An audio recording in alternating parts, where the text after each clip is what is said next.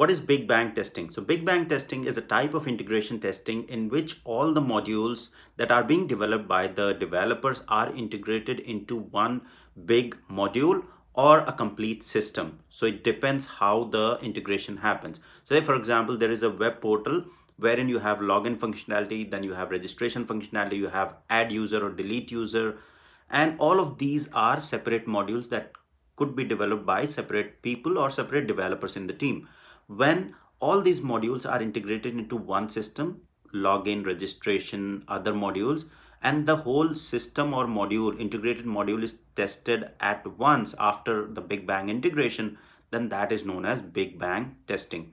We'll take an example of car. So car has different parts, right? Eh, you can consider attaching all the parts, wheel, everything in the car together, making the car ready, and then driving that car to test it. That's Big Bang testing.